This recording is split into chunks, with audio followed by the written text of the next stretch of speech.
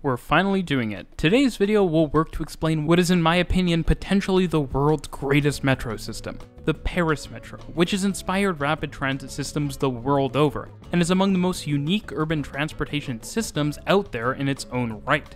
The system already has 14 different primary lines, with 4 more under construction, and moves more than a billion and a half passengers every single year, including through one of the largest metro stations in the world. So let's set out and learn about the incredible Paris Metro.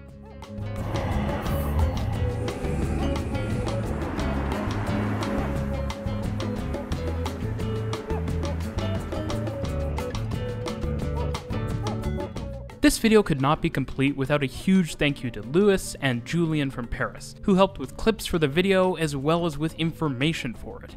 If you're interested in helping with future videos about your city and any place around the world, make sure to follow me on Twitter for updates and consider supporting the channel on Patreon. Oh, and don't forget to check out my other explainers on cities like London and Madrid. Paris is complicated, and so to start this video out, let's try to get situated with the urban context. Paris has several urban transportation systems, and I eventually hope to have explainers for every single one, including the incredible RER network, which provides massive capacity by running large express mainline trains through the city in massive new tunnels, akin to another project we recently visited. A good starting point for a little tour around Paris is to distinguish the central areas of the city within the Peripherique Ring Road and those outside of it. We also have the Seine, which cuts across the French capital in an arcing shape. In the northwestern quadrant of the city, at the end of the Champs Elysees, we have the Arc de Triomphe, and in the west of the center, just to the south, we have the Champ de Mars and the Eiffel Tower. To the east, roughly near the city's geographic center, we have the famous Louvre Museum. If you follow the city's northwest axis towards the Arc de Triomphe, you reach the famous Place de la Concorde, and beyond the Arc, you eventually arrive at the city's modern business district, La Défense, akin to London's Canary Wharf beginning to look at the city's transportation hubs, starting with the airports, which include Orly to the south, which is currently served by tram T7 and connected to the RER via a people mover. Paris's much larger international hub airport, Charles de Gaulle, is to the north of the city and is directly served by the RER as well as high speed trains. Moving into the city itself, Paris has six major intercity rail stations. These include Gare Nord in the northeast of the core, which serves Eurostar and Thalys services to the UK and Belgium, as well as the Netherlands, alongside trains to other parts of France and Western Europe. Gare de l'Est is only a few hundred meters away from Gare Nord and serves trains to eastern France as well as other points east, such as in Germany and beyond. Gare Saint-Lazare is a smaller station closest to the geographic center of the city, which serves a large number of commuter services as well as the historical business district and trains to the northwest of the country. Gare de Lyon is in the southeast of the city, near the Seine, and serves destinations like Lyon, go figure, as well as other destinations in the south of France, the greater Mediterranean, as well as places like Italy and Spain. To the west, we have Gare Montparnasse, which serves trains to the west of France and is quite famous for its much disliked adjacent tower and its less than impressive finishings. The last major station we have is Gare d'Austerlitz, which is the destination for trains from central France as well as night trains, and is located directly across the Seine from Gare de Lyon. A station of a different type worth mentioning is Châtelet-Les which serves a number of RER and metro lines forming one of the largest rapid transit interchange stations in the entire world. Now, connecting these various and famous destinations are a web of metro lines, so let's talk about them. I've divided the lines into two groups based on whether they use the iconic rubber tired trains transit enthusiasts typically associate with the Paris Metro, or more standard steel wheeled units which actually run on the majority of lines. Let's start with these steel wheeled lines, which, as I said, make up the majority both by raw number and track kilometers. Line 2 has 25 stops over about 12 kilometers of track, forming a northern arc in central Paris, beginning in the northwest and ending in the east. The line serves major destinations like the Arc de Triomphe, and the line runs elevated along Boulevard de la Chapelle as it passes just north of Gare du Nord and Gare de l'Est.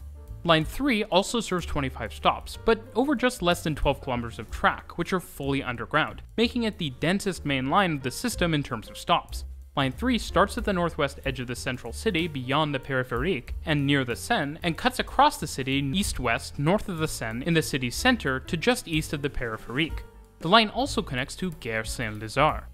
Line 5 features 22 stops over a roughly 15 kilometer route north-south on the east side of the city, which sees it run from the southeast of the city north, connecting with Gare d'Austerlitz, which it runs elevated through before crossing the Seine on a bridge and diving back below ground. The line then continues north to serve Gare de l'Est and Gare du Nord before sweeping east, traveling beyond the peripherique to the east north of Line 3. Line 7 is tied with Line 8 for having the most stops for a line on the system with 38 stops over just 22 kilometers of fully underground track, running from south of the peripherique with two branches, rather uncommon on this system, to the northeast of the city. The southernmost portion of the line is formed by those two parallel branches, which come together just north of the peripherique. From here, the line runs north and then turns east across the Seine underground. The line then continues along the Seine to connect to the southern end of Châtelet-Les Halles, as well as provide service to the famous Louvre Museum. The line then arcs back towards the east to serve Gare de l'Est and continues straight northeast to a terminus beyond the peripherique. Line 8 has 38 stops over 23 kilometers of track running from far south of the peripherique to the west of the city in an arc. The southernmost portion of the line is above ground, and part of it even runs in the center of an access controlled highway. South of the center, the line also crosses the Marne, a tributary of the Seine on a bridge. The line then runs through the center, paralleling Line 9 for part of its route, before crossing under the Seine to the west near Place de la Concorde. The line then runs between Champ de Mars and the military school, before terminating near the peripherique in the southwest. Line 9 has the second most stops on the entire Paris metro, with 37 over a little less than 20 kilometers. The line runs fully underground east west across the city from east of the peripherique to the southwest near the Seine. Around the middle of the route, the line connects with Gare Saint Lazare. The shared entrances with Line 8 serve a dense recreational district where entry points are often as little as 50 meters apart. Line 10 has 11.5 kilometers of track with 23 stops. The line cuts across the south of the city east west and is entirely underground. Very uniquely for a rapid transit line, there's a section of the western portion of Line 10 where there's a split and a couple of stations only offer travel in a single direction. The line terminates in the east at Gare d'Austerlitz. Line 10 also has the least advanced signaling on the entire system. Now, Line 12 is fully underground and features 29 stations on 17 kilometers of track, and is the most recently extended line on the system, with the extension to Mairie d'Aubervilliers opening in May 2022. Line 12 runs north-south through the west-central parts of the city with connections to Saint-Lazare as well as Gare Montparnasse. Line 12 notably has some very tight corners which can potentially pose safety hazards with overspeed trains, such as to the north of Notre Dame de Lorette and south of Marx Dormoy. Line 13 is currently the longest line on the Paris Metro at about 24.5 kilometers long and with 32 stations. Line 13 parallels Line 12 for much of its route, running north-south through the west of the city, where it connects with Gare Montparnasse. Unlike Line 12, Line 13 extends further north and west, with two branches at its north beyond the connection with Gare Saint-Lazare. The eastern branch runs beyond the peripherique and near the Stade de France, while the western branch crosses the peripherique as well as the Seine on a bridge. Line 13 was actually built, as with other later metro lines, to augment the RER network and provide similar services, in this case connecting Montparnasse and Saint-Lazare more rapidly than Line 12.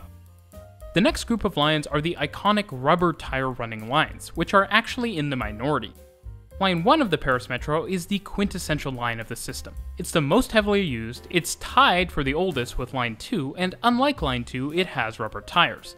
The line serves 25 stops over 16.5 kilometers of track, running from the southeast to the northwest. The line begins southeast of the peripherique and runs straight northwest before diverging west at Place de la Nation to connect to Gare de Lyon, where the line makes another turn to head north to Place de la Bastille, where it once again turns west, continuing parallel to the Seine and serving Châtelet-Les Halles.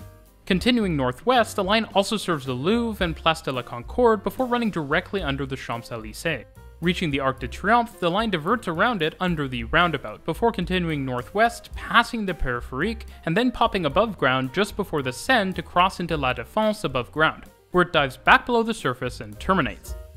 Line 4 is the second most heavily used line on the Paris Metro, and like Line 12 was extended in 2022 with the addition of two new southern stations, bringing the line to 29 stations on its 14 kilometer fully underground route which runs north-south connecting Gare du Nord, Gare de l'Est, Châtelet-Les Halles, and Gare Montparnasse.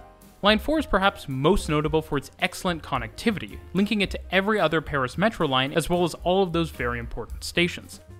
Line 6 is 13.5 kilometers long with 28 stops, forming a loop around central Paris alongside Line 2, Line 6 being the southern half of the circle. The line serves Gare Montparnasse and has a number of elevated sections, including twice passing over the Seine and once past the Eiffel Tower above the streets below, before terminating at the Arc de Triomphe. Line 11 is the shortest main line on the system, at just over 6 kilometers in length, but still manages to pack in 13 stations. Line 11 starts from Châtelet-Les Halles in the center and continues eastward as a chord, running past Centre Pompidou and the famous structural expressionist building and eventually ending just east of the Périphérique. Line 14 is the newest line on the Paris Metro and exists as an express connector line. It's fully underground and runs 14 kilometers with just 13 stations, roughly double the standard station spacing on the metro system, and very reminiscent to London's Victoria line. The line's also fully underground and runs from the northwest to the southeast, paralleling Line 1 as well as the intensely used Line A of the RER, and as such, it was designed as an express relief line for both. The line connects to Gare de Lyon, Châtelet-Les Halles, and Gare Saint-Lazare. Now, as it turns out, beyond the 14 main lines, there are also two smaller BIS lines which you might have heard of. Sort of like shuttle lines seen in other cities with small trains and few stations, but a little bit longer. Line 3 BIS has the shortest trains on the network, with three small cars on every train. The line is only a little over a kilometer long and still has four stations connecting between Line 3 and Line 11. Line 3 BIS is entirely underground. The line's existence is thanks to a historic rerouting of Line 3, and thus its infrastructure is more substantial than it needs to be for the role it plays today.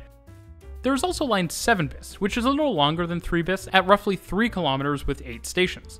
The line originally operated as a branch as part of Line 7. Somewhat like on the western portion of Line 10, the eastern portion of Line 7 bis is one directional, operating as a loop. As it turns out, there are connecting tracks between lines 3 bis and 7 bis, and they were actually used in part to test rubber tire trains as well as advanced signaling systems. Using these tracks to combine the two lines into one has frequently come up and will probably eventually happen. So, the Paris Metro is very extensive already, but as it turns out, it's also getting what is likely Europe's largest metro of expansion in the form of the dramatic Grand Paris Express project, which at one point will have used over 20 different tunnel boring machines. These plans include a number of expansions to various lines as well as four major new lines. At the center of these expansion plans is the new Line 15.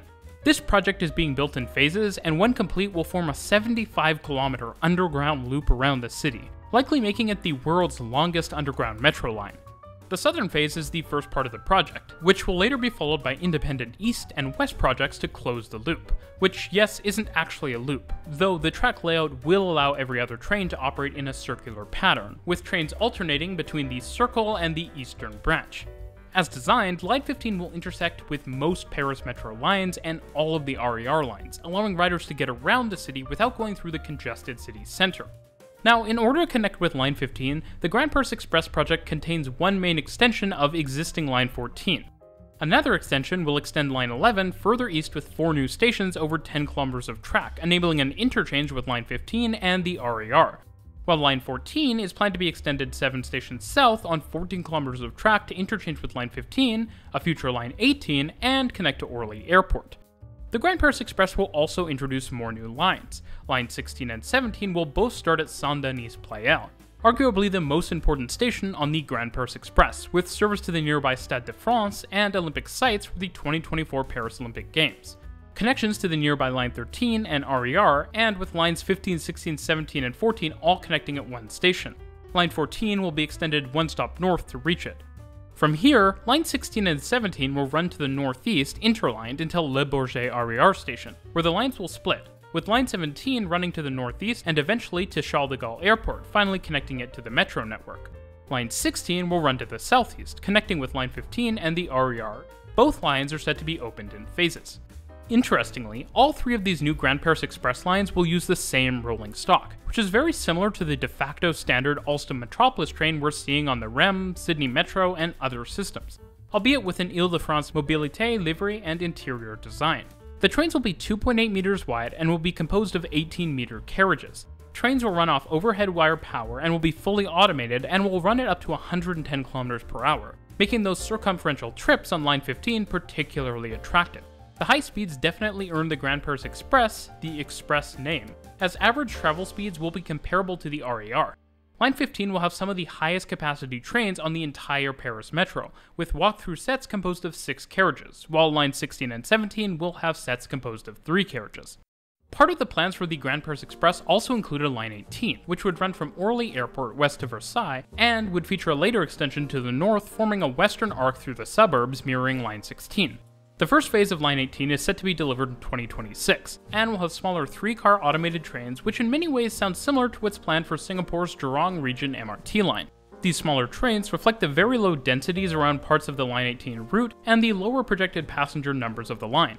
Of course, along with the various other Grand Paris Express lines, there are a lot of regular metro stations which are being enhanced to connect to the new facilities. Now, as you might imagine, being so old and having so many lines and so much history in such a storied city, the Paris Metro has a ton of interesting and unique features. And I think this is my favorite part of most explained videos, because it inverts the expectations you so often have about transit systems, historic or not.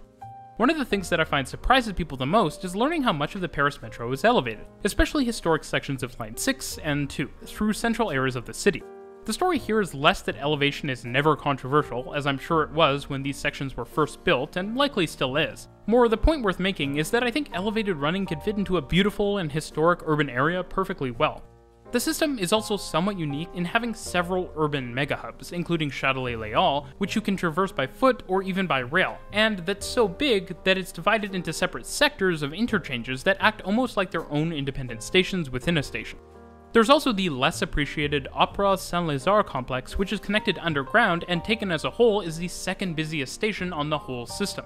There are also smaller but notable hubs like Republique and Nation, which probably benefited a lot from the fact that the Paris Metro just has a lot of lines and often has them bouncing off of each other rather than crossing to provide interchanges, which you can see at Nation and Republique.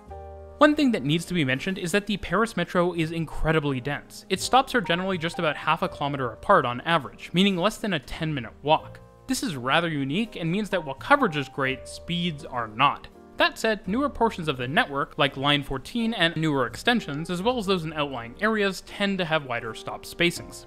Speaking of Line 14, unlike Toronto, New York, London, and Berlin, Paris has core metro lines which are driverless. Line 14 also offers some of the highest scheduled service for a major metro line in the world, with some departures set less than 90 seconds apart, as well as platform screen doors at all stations. The success of automation on Line 14 actually led to the Paris Metro operator, the RATP, retrofitting automation on other lines. The busiest line, Line 1, was automated in the 2000s, with trains initially running mixed in with human operated trains, and then eventually being deployed as all trains in service. The line's historic stations were even retrofitted with platform screen doors. And as it turns out, similar works are going on on Line 4 right now, which is the system's next busiest line, and should be complete in the next year. If you're wondering, Line 13 also has a number of stations with platform gates. One element that many people aren't familiar with is that the rubber tires were actually retrofitted into the historic lines of the Paris Metro, with trains initially running as a mixture between sets with and without the additional tires. This is different from cities like Montreal, Santiago, and Mexico City, as well as lines like Line 14, where rubber tired trains were used from the outset. Of course, not every element of the Paris Metro is perfect. The system is one of the least accessible major metros out there, and with so many old stations, retrofits are not always very fast. That said, major expansions to the network are of course accessible, so retrofits are the main thing that needs focus. As a famous metro system, the Paris Metro has a number of iconic designs, ranging from its well-known steel entrance gateway, which have been sent to other cities like Montreal and Mexico City, to the excellent wayfinding, which is clean and efficient. I'd even say the beautiful blue and white liveries now being used across the Ile-de-France are likely to be a future favorite, though I know there are some mixed opinions on them these days. Alongside the thoughtful and feature-packed interiors, which take the comfortable seating layout seen in Europe and the helpful technology seen in Asia and combine them. Another iconic feature of the Paris Metro are the small arch side platform stations which make up the majority on the system, and were the sort of default historic station design. These stations were perfect for accommodating the short and narrow, roughly 2.5 meter wide trains which run on the whole of the network, once again showing you that you don't need giant trains to move huge amounts of people. Of course, while many stations in the system are standardized, the unidirectional stations of Line 10, most notably Mirabeau, are quite unusual. At the same time, some of the rolling stock on the system still has manually operated doors, where you need to lift a knob to open them. This is quite unique. Another thing that makes the Paris Metro unlike other systems we talk about is that it doesn't have divisions of larger and smaller trains, though you might argue this is changing with the Grand Paris Express. While the trains are split between rubber tire and steel wheel, as mentioned before, this was originally done via retrofit, and the loading gauge on the trains is the same. Perhaps the most unusual feature of the Paris Metro, and the one I find the most fascinating, are the crazy number of connecting tunnels, unusual station layouts, and even relatively frequent turning loops seen around the system. which are used less today than in the past, but are still used. These are all features that didn't end up taking off in the world of metros, but make the Paris Metro distinctly its own, and that's what I love about it. As always, thanks for watching the video, thanks to everyone who helped make this possible, and I'll see you in the next one.